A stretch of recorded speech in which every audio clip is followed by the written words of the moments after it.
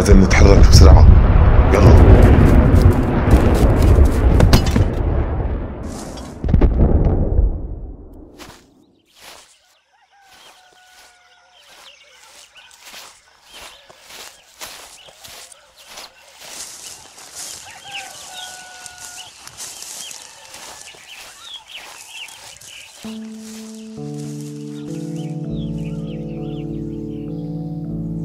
بابا كان دائما يدير باله علينا. كان يعتني بماما وإخواتي. ما كنت بتخيل حياتنا بدونه. لما رجعت على البيت بعد القصف عرفت إنه عمل يلي عمله مشاننا. بعد ما هدي القصف فكرنا إنه أسوأ شي راح. بس القنابل العنقودية مو مثل باقي المتفجرات. يعني في منهم مو دغري بينفجروا. وفي منهم بيضلوا على الأرض بينتظروا العالم يلي عم تمشي ويلي بيحاولوا يحركوها.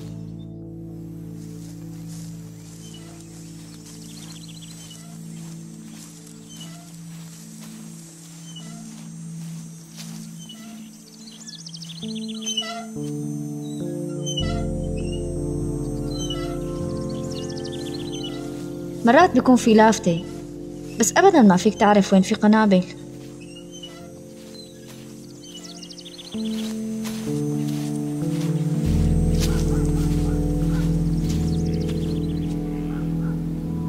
فيك تعرف الأماكن يلي لازم تبعد عنها.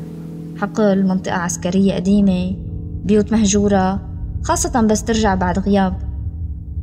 أي مكان غريب على الحدود أو مطرح ما كانوا عم يتقاتلوا ممكن يكون في قنابل ما انفجرت لسه.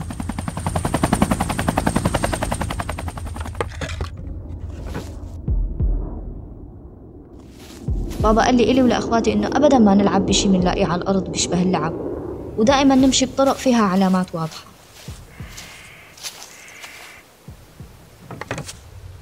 بعرف إنه هو كان عم يحاول يساعدنا وإنه عمل هيك مشاننا.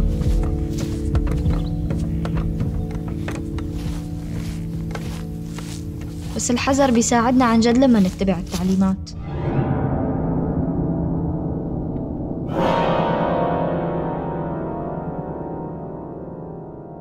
كتير صار الوضع صعب علينا من وقت الحادث.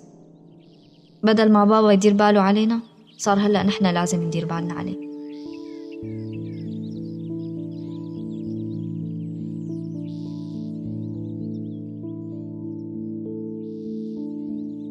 احذر من مخلفات القنابل العنقودية. لا تلمسها لا تلتقطها ولا تركلها. إذا رأيت شيئا قد يكون خطرا غادر المكان فورا. وأخبر الدفاع المدني السوري.